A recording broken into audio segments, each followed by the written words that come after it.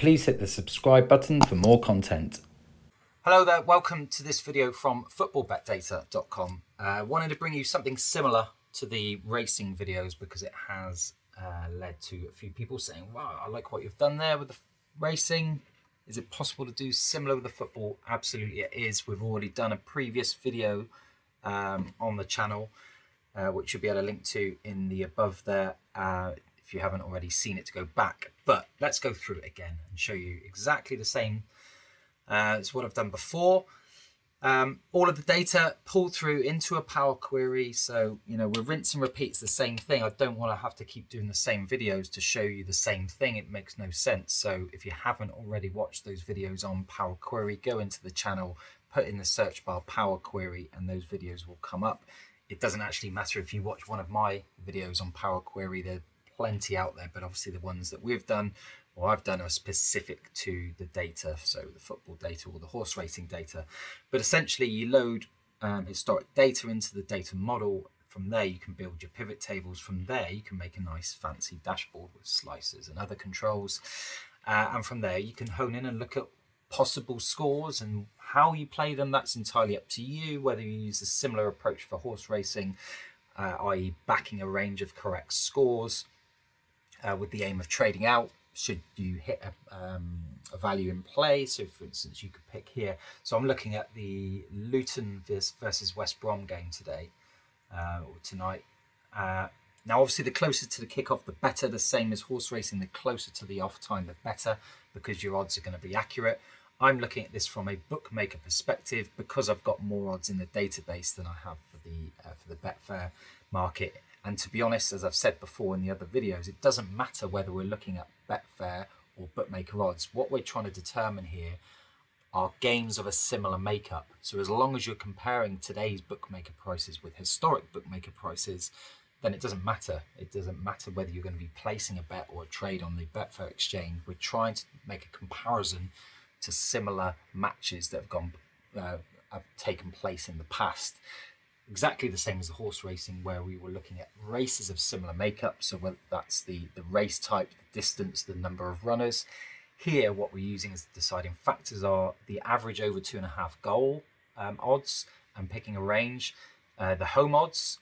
Uh, and then we've also got controls around the league the team or the home team the season uh, and the dates as well. Uh, so what I filter in and out is entirely up to to myself and the same for anybody who wants to design or build something similar. Again, this video is just to give you an idea and a visual as to the sort of thing that you can use our data to build and develop for your own personal use. Um, so Luton, bit of an anomaly really, because you can see historically going back to the, so I've got the last uh, 12 years, 12 seasons worth of data. They've played in every one of the top five, top five professional, top four professional leagues plus the conference. Um, so you could argue, well, we don't want to look at uh, games from the conference or the Premiership, Premier League, sorry. Um, we just want to look at games they've played in the Championship, in which case you can click on that and the slicer will then filter those down to just games in the Championship. Now, to my mind, we're looking at the um, the over two and a half odds, uh, as well as the um, the, the, the, the home odds for Luton Town. So that's enough for me to decide how they have performed. Okay, it's going to be a completely different set of players, potentially a different stadium, um, but we're looking at that same team, how they performed in home games when their matches have met this criteria. Um, so if I uh, scroll back up here, Luton.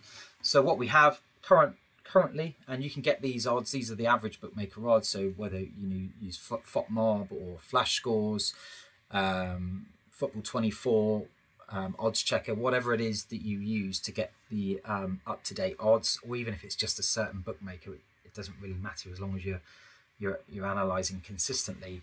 This gives us the I've inputted their home odds as they are at the moment. So uh, mid, just gone one o'clock in the afternoon, so still six hours from six seven hours from kickoff. So Luton, where they've been home, odds are two point seven seven. Um, the average over two and a half market is um, they're currently priced at 1.93 so what I do is break these down into uh, quartiles so I'll go from 1.76 to 2 Uh, again, it's entirely up to you how you would do that. Um, you might use 10 above, 10 below. Um, certainly, if they were priced at 1.98, you think, well, is that more relevant to be looking at 1.76 compared to a 2.02? Uh, but that's just the way I, I use it. Um, so I've filtered it by, by Luton. We've got uh, this is the denominator. We've filtered out games where the over two and a half market doesn't meet the um, the, the, quartile I've got here, 176 to 2, and we've got all leagues on. Now what this shows you here on the heat map are the most likely scores uh, st statistically uh, in order, where we've got green are home wins, blues are the away win, and the uh, orange is the draw. And then the games that we've got closer to this zero are where Luton's home odds have been 2.77 or within 5%. So under 5%, over 5%. And then the further away you get from these, the home odds have been um, significantly higher in this case or significantly lower as you move down here. So the further away from uh, Luton's home odds of 2.77 uh, is where these blobs are placed. Uh, and where they're shaded slightly as well, that means that the, so here the home odds were 20% or more different than they are today, where we've got the shading here, the away odds uh, were 20% or more different away from what they are today. Uh, same with the home win down there. Um, so what this allows you to do is look at the most common scores in a grouping. So we'd probably be looking into this range. So you're looking at your one alls, um, two one away win, three one away win. There's a nil nil. There's not actually a home win within that um, sort of 10% either side. So that could be something to look at. Uh, all of the home wins have sort of been 15% or more away from today's prices. Um, if we scroll down slightly, we'll be able to see uh, these are just totals of the of the above, and then a breakdown. So we've got the heat map profit loss. So these are the 20 uh, or 30 games that we've got closest to the um, the the odds of today, the home odds of today, and then we've got the total prof profit and loss, which are 89 games. So these are the games um, all of the games that Luton have played in where um, the, the over two and a half price has been between 1.76 and 2. Um, the ones that are not shown on here, their, their home odds are even further away than the ones that we are displaying on this sheet. So either drastically higher, drastically lower.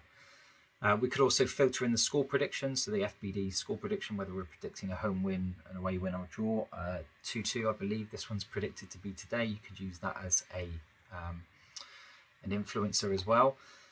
Um, and then we can, I was just talking about the heat map profit and the profit and loss. So you can see here that actually backing the draw on both of these has shown profit based on the heat map. So the games closest to the um, odds makeup of today, slight profit, but in all of the games, if you back the away team, it would have been an overall loser. Uh, under two and a half is also profitable. Um, and both teams to score no was profitable there, but not there. So what that drags the eye towards is what we've seen here. So the uh, the one one, the nil nil, uh, the nil two potentially for the away win, um, and then you start looking at these higher scores. But if we look at the over two and a half, that has not historically been a profitable approach. So one angle you could look to use here for the Luton West Brom game would be to back uh, 0 2 1 2 1 3 1 1 uh, and then look to trade out once the odds met a certain level. You could either green up or you could remove liability. Again, that is entirely up to you as a user. a bit further down, we have other methods as well. So we look at where Luton have been between this price, uh, how many, uh, and this doesn't take into account the um, the over goals market, over two and a half goals market.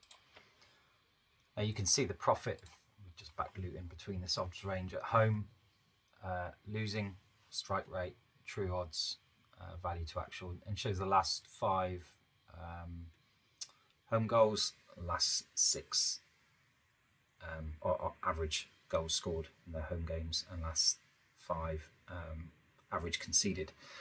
We've also got here the heat map data. Um, you can toggle this, so if you want to show how many games had a goal for the first 10 minutes, there's 3 out of the 30. Uh, average minute of the first goal was 37 minutes in these games, 34 in all games, and then we've got a breakdown of who scores first, home team, away team, or uh, where there's a nil-nil draw, which is the three games here. Now all of this comes, we use the goal time data as well. Again, videos on the channel about how to use goal time data. And then we've got the coefficient. So the coefficient is the differential between Luton's odds and the away odds. And where Luton's coefficient has been between 1.01 and 1.25, again going up in quartiles, 1.09. Uh, it's been 18 games and that's an overall loser. So to me, there's nothing pointing towards a home win. So cue a 3-0 Luton win tonight. Uh, but yeah, no, seriously, looking at this, it looks very much like there's blue, blue-orange. So those would be the score lines I'd be looking to apply if you're looking um, correct score market trading. It's a live TV game, so there should be the liquidity in the market, which is always a concern for uh, for games. Whether if you're looking to, to trade in running, whether or in play, whether there's enough um, liquidity in the market. Um, just to give another example, so there's another game, big game tonight, uh, which is in Germany. So if we uh, take the filters off here, and we can, I'll just show you how this will work. So it's Bayer Leverkusen Stuttgart. Uh, if I filter down to Bayer Leverkusen, show how easy this is to do. Uh, Leverkusen, and we want to look at their odds. So they're 1.56 currently. 4.75 the draw and 5.11 for the away win. And if we just look at the other uh, denominator there, which is the over two and a half, 1.34. So I'd look for anything between 1.26 to 1.5, sort of more or less in the middle of that. Uh, they've only ever played uh, in the Bundesliga meeting these criteria. So we've got Bayer Leverkusen there. And you can also filter by season. So if you only wanted to see the most recent seasons as well, you can obviously filter those ones out. Uh, excuse me, sorry, Bart's on. Uh, we've got a, I've got my horse racing uh, automation running on uh, on the other on the other screen. You can see how the different different sh uh, shows for, for this game. Uh, so a lot more green in and around this 10%, two ones, three ones, other. So this is where four, four or more. Um, there's a couple of big away defeat, uh, away wins in there as well, uh, and one all. So you can see there's quite a few score lines in here. That's why we need to look at the um, the heat map and the profit loss. So we're not showing any profit on the heat map if you back to all of these games. Under two and a half is showing profitable, probably to do with the fact that the, the odds are quite high. So where you get these one alls and one nils, one uh, nil ones, that's given it the profit. There's profit on the home win for all 69 games in the database, uh, where um, where this makeup's happened. Um, and then if we scroll down here, there's no real value in Bayer Leverkusen um, when they're in this odds bracket. Um, there's no value with the denominator of 0.31. Um, and then we can look at the other analysis if you're looking you know to get in later you can see what the likelihood is of a goal before 10 minutes or before 30 minutes for instance um, and that will give you an indication of how these games have performed historically uh, but yeah, for me, there's it looks like there's goals in this one, two one, three one, um, three two even in there other. So that's um, that's what the eye is drawn to. So that's how uh, this dashboard works. Very similar, and again, it's laid out to, to my preference. But to answer the people that have been asking the question, can you do this for football? Absolutely. Um, the data is downloadable into Excel, which you can then feed into a Power Query.